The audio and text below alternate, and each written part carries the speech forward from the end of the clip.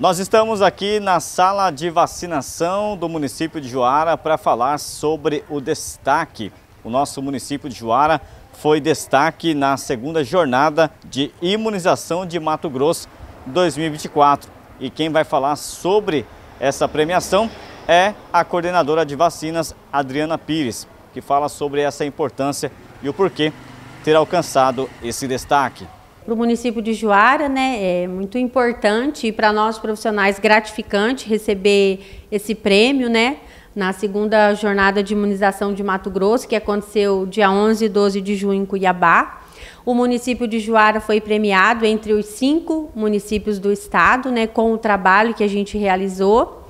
E esse prêmio veio é, no projeto do certificado de vacinação em dia. Então, no mês de setembro, iniciou-se esse projeto.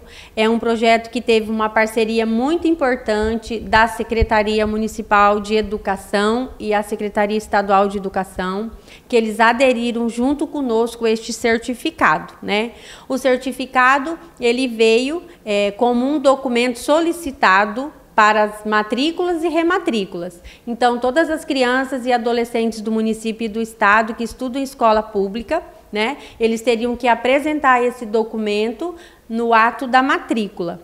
E isso fez com que muitas famílias, muitas mães responsáveis trouxessem né, esse cartão para as unidades para a gente avaliar e com isso a gente conseguiu colocar aí muito cartão em dia. Então muitas crianças e adolescentes receberam a vacina neste período. E isso trouxe o prêmio então né, para Juara aí uma de experiência exitosa. Isso mostra também o empenho né, da Secretaria de Saúde, através da sala de vacinação, para que a população viesse a estar aí buscando a imunização. Com certeza, foi um, um trabalho em conjunto, é, um trabalho assim que nenhuma equipe de PSF se hesitou a participar, né? Então todas as unidades participaram, houve o empenho de todas as equipes do município. Então com isso a gente conseguiu aí melhorar os índices das nossas coberturas vacinais. Ainda tem algumas metas que a gente não conseguiu cumprir, mas os números mostram que a gente melhorou muito através deste projeto.